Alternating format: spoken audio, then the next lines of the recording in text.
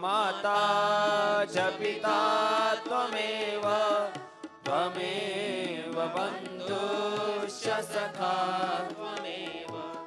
त्वमेव विद्या द्रविणं त्वमेव त्वमेव सर्वं मम देव देव त्वमेव सर्वं मम देवा।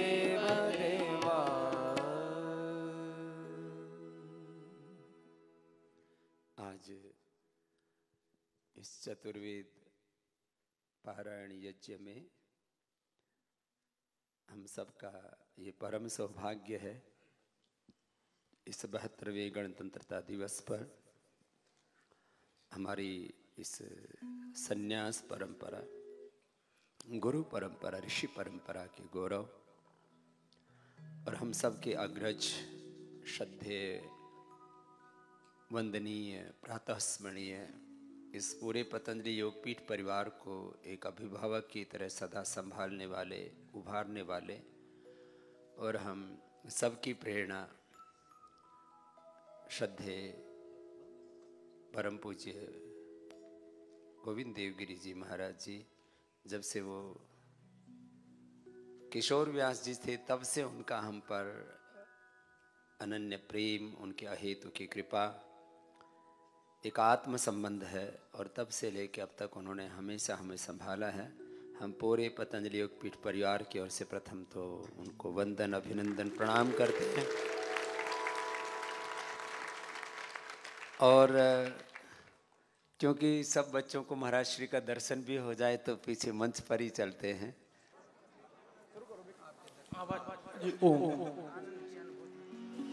सदगुरु बिना किसी को।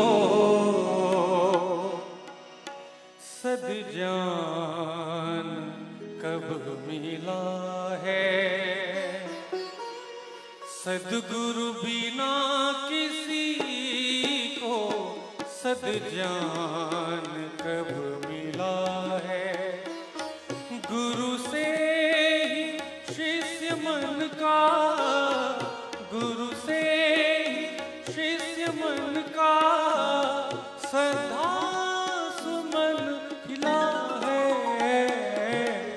सदगुरु बिना किसी को सदज्ञान कब मिला है? सब गा लो आनंद से। सदगुरु बिना किसी को सदज्ञान कब मिला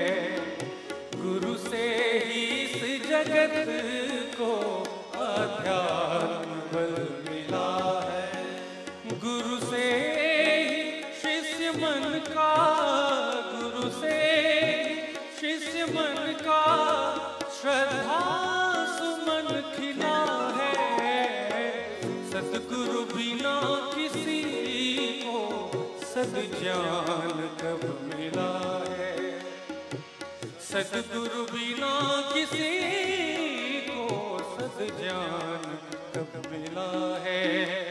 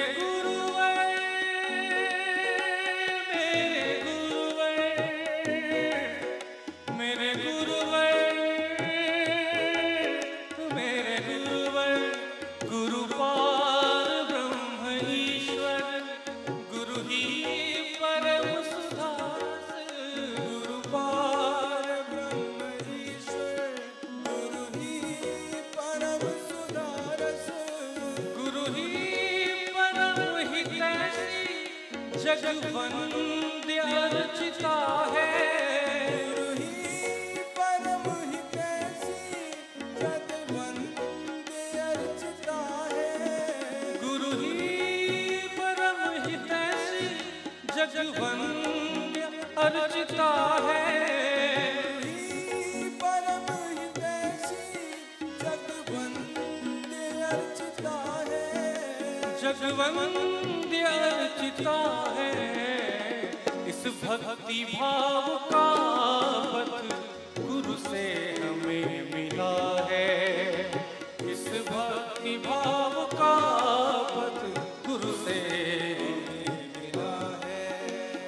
शिष्य मन का, गुरु से शिष्य मन का, श्रद्धा सुमन खिला है। सतगुरु बिना किसी को सत ज्ञान तब मिला है। सतगुरु बिना किसी को सत ज्ञान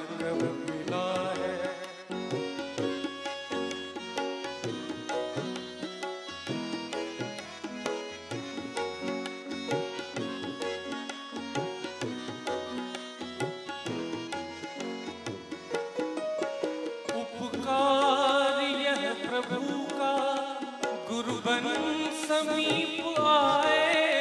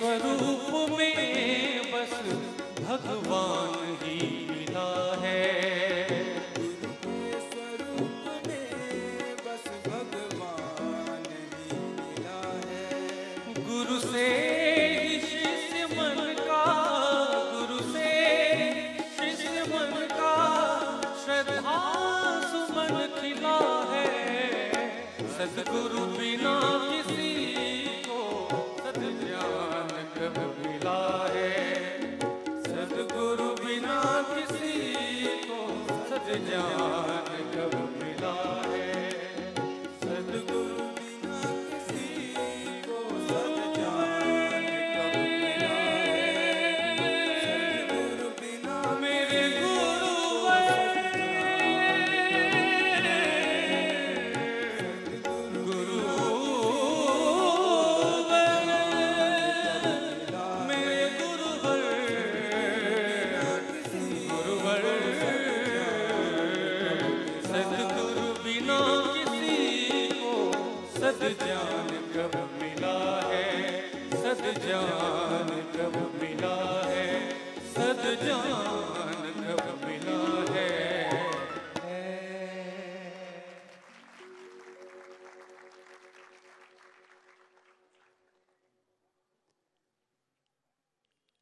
कुछ दिन पूर्व ही श्रद्धे महाराज श्री को दूरभाष किया कि चार वेदों का एक महापारण यज्ञ है और उसमें आपके आशीषों के बिना वो अधूरा ही रहेगा। तो महाराष्ट्र ने अनुग्रह करके कहा कि मैं अवश्य आ ही रहा हूँ हरिद्वार और हरिद्वार में महाराष्ट्री आते हैं तो फिर ये प्रेम की बात है, यहाँ अधिकार की बात नहीं, लेकिन फिर भी हरिद्वार में महाराज जी पर पहला अधिकार हमारा ही है। वो अधिकार जो है प्रेम का है। वो कोई आधिपत्य का नहीं है, सत्ता संपत्ति का नहीं है। और और जो महाराज श्री ऐसा ही अनुग्रह हम पर सदा रखते हैं। और, आज ये सौभाग्य है कि हम भारत का भी बहत्तरवा गणतंत्र दिवस मना रहे और महाराज श्री भी बहत्तर वर्ष के पूर्ण तो महाराज श्री के लिए हम प्रार्थना करते हैं, सुदिनम सुदिनम, जन्मदिनम, तव सुदिनम सुदिनम, जन्मदिनम, तव। भवतु मंगलम, जन्मदिनम। भवतु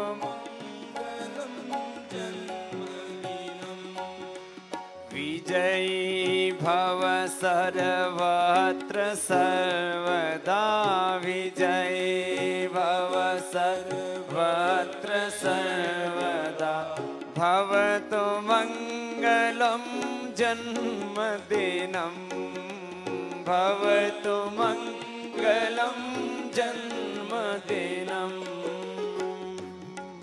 महाराज, श्री को एक बार पुनः श्रद्धा पूर्वक हमारा बहुत बहुत वंदन और पूज्य,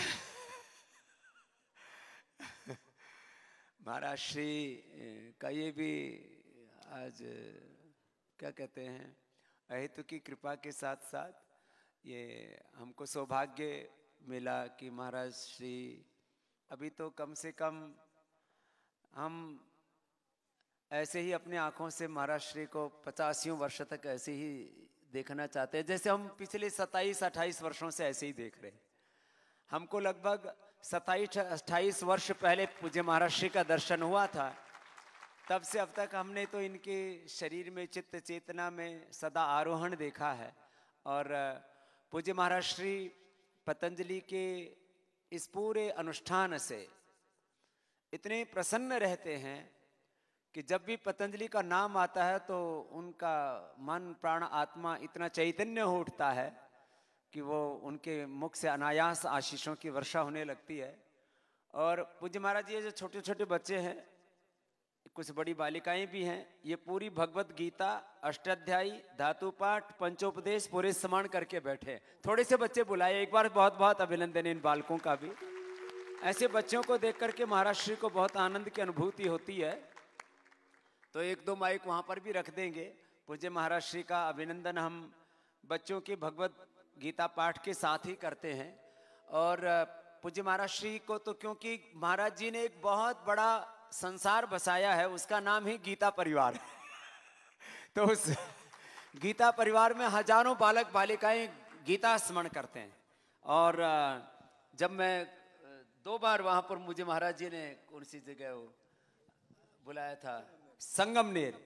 वहाँ पर हज़ारों हज़ारों बच्चों ने एक साथ योगाभ्यास और एक साथ गीता पाठ किया और पूरे देश में, नहीं, पूरे विश्व पटल पर पूज्य महाराज श्री का ये सत्तर देशों में अनुष्ठान चल रहा, उसके लिए भी पूज्य महाराज श्री का हम अभिनंदन करते तो पूज्य महाराज श्री को शास्त्रों में बहुत अनुराग है। दो तरह के सन्यासी हमारे यहाँ। एक ठीक अवधूत हैं या अलग अलग मतपन संप्रदाय के हैं। उनकी शास्त्र निष्ठा प्रामाणिक नहीं होती। पूज्य महाराज जी शास्त्र निष्ठ हैं वेदनिष्ठ हैं और अपनी ऋषि परंपरा, अपनी जो सनातन परंपरा है, उसके प्रति अखंड निष्ठा रखते हैं और पूज्य महाराज श्री जब पतंजलि के ब्रह्मचारी ब्रह्मचारियों को और हमारे इन साधु और साध्वियों को, सन्यासी और सन्यासिनियों को देखते हैं और वो भी विद्वान और विदुषी साधु सन्यासियों को देखते हैं तो उनके हृदय में एक अलग प्रकार का एक आनंद होता है। तो बालकों, शुरू करते हैं। प्रथम अध्याय से ही शुरू करो भगवत गीता, फिर बीच बीच में थोड़ा थोड़ा सुनेंगे। हाँ जी। अथ प्रथमोऽध्यायः। छोटे बालकों को दो हाँ। अर्जुन विषादयोगः। धृतराष्ट्र उवाच धर्मक्षेत्रे कुरुक्षेत्रे समवेतायुयुत्सवः। मामकः पाण्डवश्चैव किमकुर्वत सञ्जय। सञ्जय उवाच दृष्ट्वा तु पाण्डवानीकं व्यूढं दुर्योधनस्तदा आचार्यमुपसङ्गम्य राजा वचनमब्रवीत् क्लैब्यं मा स्म, क्लैब्यं मा स्म, क्लैब्यं मा। पार्थ नैतत्त्वयुपपद्यते। क्षुद्रं हृदय दौर्बल्यं त्यक्तोत्तिष्ठ परन्तप। अर्जुन उवाच कथं भीष्ममहं सङ्ख्ये द्रोणं च मधुसूदन इषुभिः प्रतियोत्स्यामि पूजार्हा वरिसूदन गुरून् हत्वा हि महानुभावान्। श्रेयो भोक्तुं भक्षमपि ह लोके हत्वार्थकामांस्तु गुरूनिहैव। भुञ्जीय भोगा रुधिरप्रदिग्धान्। न चैतद्वि- योगस्थः कुर कुरु कर्माणि सङ्गं त्यक्त्वा सिद्ध सिद्धो समो भूत्वा समत्वं योग उच्यते। दूरेण ह्यवरं कर्म, बुद्धियोगात् धनञ्जय।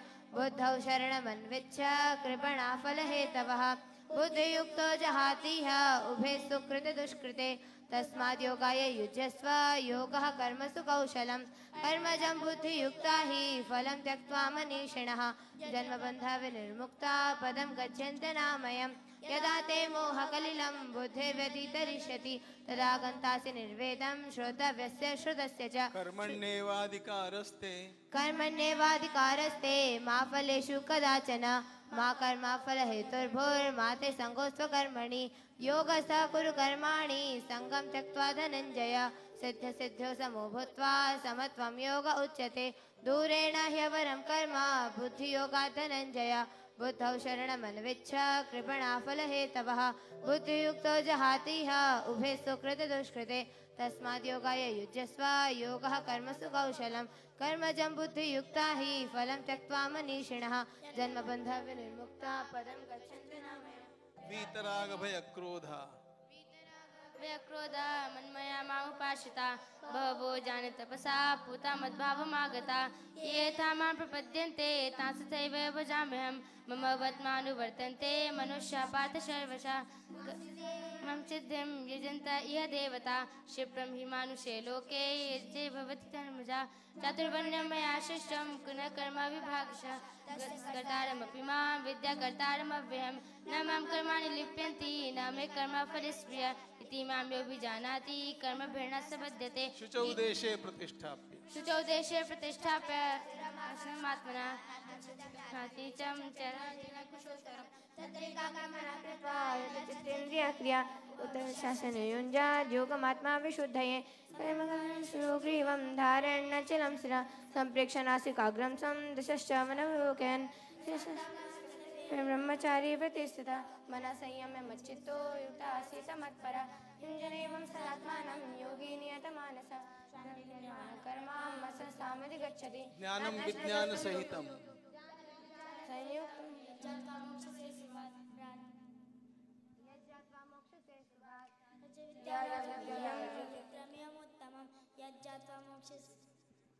मोक्षे से शुभात पत्रम पुष्पम।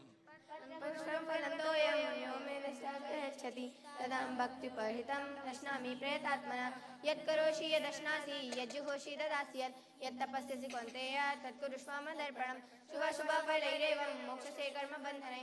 सन्न्यासयोगयुक्तात्मा विमुक्तो मामुपैष्यसि सम्मोहं सर्वभूतेषु न मे दशस्ति नाक्रिया यो माँ भक्त्या नैतेषु चाप्यहम् पश्य मे पार्थ रूपाणि पश्य मे पार्थरूपाणि शतशोथशतश नानाविधानि दिव्यानि नानावर्णाकृतीनि च। पश्यादित्यान् अश्विनो मरुदस्रापूर्वाणि पश्याश्चर्याणि भारत। यैकसं प्रकृष्णं पश्याद्य सचराचरं। मम देहे गुणाकेश यच्च न द्रष्टुमिच्छसि मनेनेवं ददामि ते चक्षुः। पश्य मे योगमेश्वरम्।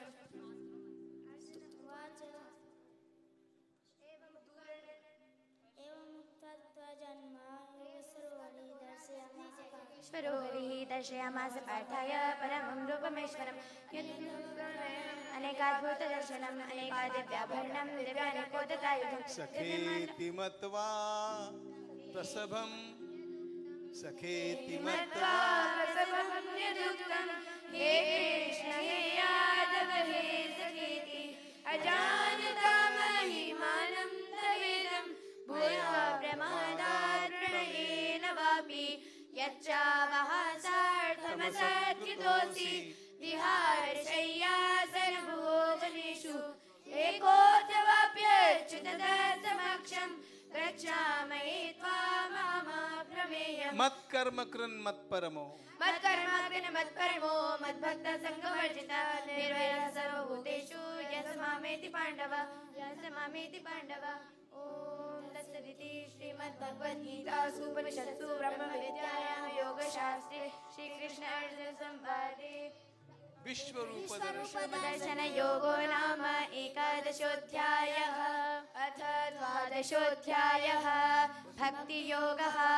अर्जुनवाच एवं सततयुक्ता ये भक्ता स्वां पर्युपासते, ये चाप्यक्षरमव्यक्तं तेषां के योगवित्तमा। श्रीभगवानुवाच मय्याधीशमनो ये माँ नित्ययुक्ता उपासते। श्रद्धया परयोपेतास्ते मे युक्ततमामता अभी षोडश अध्याय सब सुना दो महाराज जी को दैवी संपद वाले ही है ना हम सब तो। अर्थ षोडश षोडशोऽध्यायः दैवासुरसम्पद्विभागयोगः श्रीभगवानुवाच अभयं सर्वसर्वशुद्धिर्ज्ञानयोगव्यवस्थितिः दानं दमश्च यच्चश्च स्वाध्यायस्तप आर्जवम् अहिंसा सत्यमक्रोधस्त्यागशान्तिरपैशुनम् दया भूतेष्वलो लुप्त्वं मार्दवं वीरचापलं। तेजक्षमा धृति शौचम् अद्रोहो नातिमानिता। भवन्ति सम्पदं दैवीम् अभिजातस्य भारत। दम्भो दर्पोऽभिमानश्च क्रोधपारुष्यमेव च। अज्ञानं चाभिजातस्य पार्थ सम्पदमासुरीं निबन्धाय सुरीमता माशु च सम्पदं दैवीम् अभिजातोऽसि पाण्डव। तो ये दैवी संपद से युक्त हैं तो एक बार सबका बच्चों का भी अभिनंदन है। और महाराज जी की प्रसन्नता के लिए हमने थोड़ा सुनाया ये। बाकी तो महाराज श्री सब हमारे साथ एकात्म हैं ही। वो तो एक महाराज श्री के अभिनंदन के लिए कहो, वंदन के लिए कहो बच्चों ने ये थोड़ा सा भगवान की वाणी का स्मरण किया। अब बिना औपचारिकता के आज हम महाराज श्री के आशीषों के ही अभिलाषी हैं कि वो अपने अनुग्रह से हमें अनुग्रहित करें और महाराज श्री की तो उपस्थिति मात्र ही, आपका होना मात्र ही हमारे लिए बहुत बड़े गौरव की बात है। आप हमारी प्रेरणा हैं, हमारे प्रकाश हमारे पथ हैं, पाथेय हैं। और महाराज श्री के साथ में मेरा और श्रद्धे आचार्य श्री जी का ही मात्र नहीं, सभी सन्यासियों का, हमारे पतंजलि परिवार के सभी इन साधु सन्यासियों, ब्रह्मचारी ब्रह्मचारियों के अलावा, विद्यार्थियों के अलावा पूरा पतंजलि योगपीठ परिवार पूज्य महाराज श्री के प्रति अनन्य श्रद्धा का भाव रखता है। तो मैं पूज्य महाराज श्री से कहूँगा कि वो अपने आशीषों से हमें अनुग्रहित करें। श्रद्धे महाराज श्री।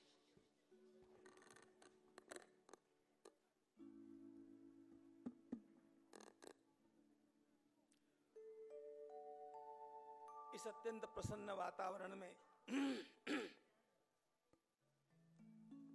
जिस हेतु से मैं आया हूँ, उस हेतु को पहले चरितार्थ करना चाहता हूँ। इतना सुंदर यहाँ का वातावरण केवल देख करके नहीं,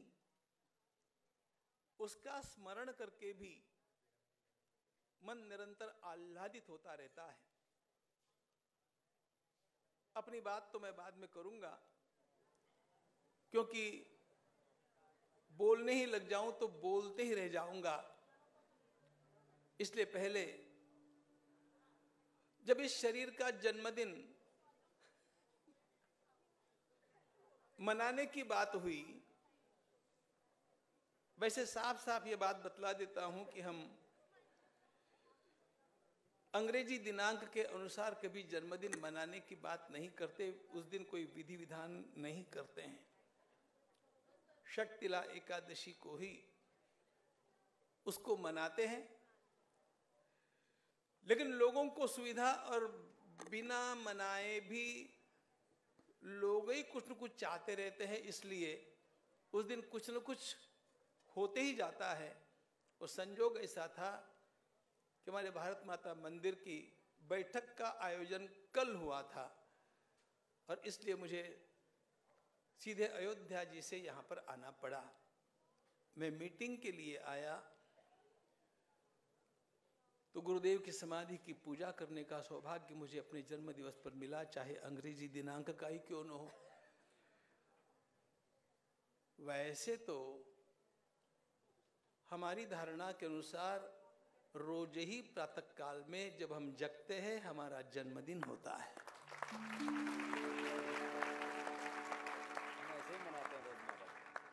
सृष्टि में चार प्रकार के प्रलय कहे गए हैं आप लोगों को पता होगा। नित्य प्रलय नैमित्तिक प्रलय आत्यंतिक प्रलय और प्राकृतिक प्रलय। उसमें नित्य प्रलय कहा गया है रोज की निद्रा को और नित्य सृष्टि कहा गया है रोज के जागरण को। यह रोज की बात है। तो इसलिए मैं आ गया, लेकिन हरिद्वार जब आना था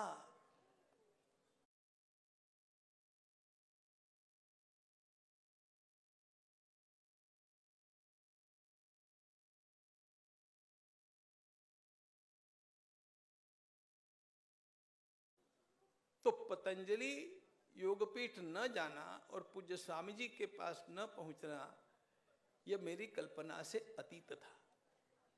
और दूसरी भी बात, जब कभी जन्मदिन आदिकों की बात आती है, मन में यही भावना होती है कि आज कितनी देव पूजा करूँ, आज कितनी गुरु पूजा करूँ, आज कितनी गो माता की पूजा करूँ। देवद्विज गुरु प्राज्ञ पूजनम शौच मार्जवम। हमारे शास्त्रों ने भगवत गीता ने ही हम लोगों को कहा देवों की पूजा करना द्विजों की पूजा करना, विद्वानों की पूजा करना, जिन्होंने जीवन में प्रकाश लाया हो उनकी पूजा करना। मेरी प्रामाणिक श्रद्धा है। पूज्य स्वामी जी महाराज कुछ भी कहते रहे, वो अपनी स्टाइल में कुछ भी बोलते हैं।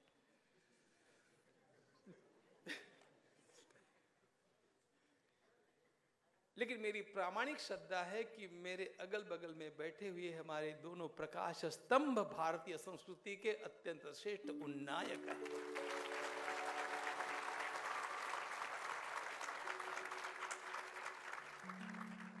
विश्व के पटल पर योग को ले जाना जन जन में उसको प्रतिष्ठापित करना, समूचे विश्व में आज आयुर्वेद का डंका बजाना और सारी पद्धतियों को हतप्रभ करके आयुर्वेद को सबसे आगे पहुँचा देना, यह कार्य करने वाले दोनों महात्मा। पूज्य स्वामी जी महाराज और पूज्य आचार्य जी, हमारी पद्धति के अनुसार जो प्राज्ञ पूजन है, और देव पूजन भी क्योंकि जिसमें दिव्यता है वो देव है। इसलिए इनका पूजन करने के लिए मैं यहाँ पर आया हूँ, इतना ध्यान रखना। उस काम को पहले संपादित करता हूँ, फिर अपनी बात आप लोगों के साथ करेंगे। बैठ कर गई